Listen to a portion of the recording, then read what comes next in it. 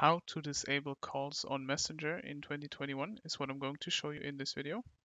This works on both Android and iOS, so just follow the steps I'm taking on whichever system you're on. Start by opening up your Facebook Messenger app, which will then look like this.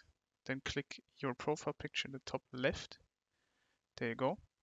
You're now in your Me setting. Now you want to scroll down until you see Preferences and Notifications and Sounds, which is the first one. Click that. Now as you can see, the top option says on, and that's enabled for me, like all the others.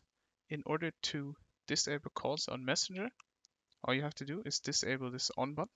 So on the right, click that. Now you can mute your notifications for 15 an hour, 8 hours or 24 hours. Let's say 24 hours, click OK. Now it's off until 5 p.m. and 46 minutes tomorrow.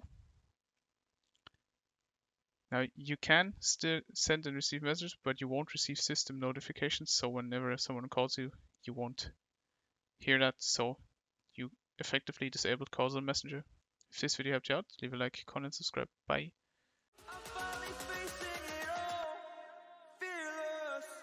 We'll be right